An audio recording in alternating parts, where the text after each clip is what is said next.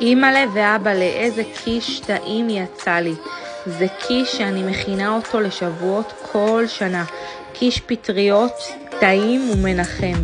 אתם חייבים להכין. המתכון מחכה לכם בתיאור למטה. שיהיה חג שבועות שמח.